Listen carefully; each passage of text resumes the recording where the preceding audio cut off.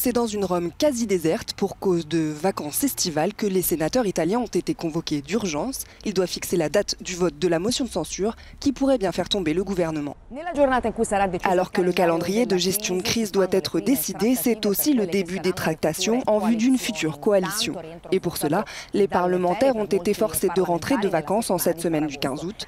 Nous sommes allés demander aux Romains qui travaillent ce qu'ils en pensaient. Les politiciens devraient travailler plus que nous, même un 15 août. Ils sont en charge des problèmes de tous les Italiens, alors que moi, par exemple, je ne m'occupe que de ceux de mes clients. Le gouvernement est hypocrite en disant qu'il travaille parce que, on l'a bien vu ces derniers jours, Salvini n'est pas du tout en train de travailler. S'il y a une crise au gouvernement de cette ampleur, il faut régler ce problème le plus tôt possible. Ils peuvent bien reporter leurs vacances, comme nous le faisons.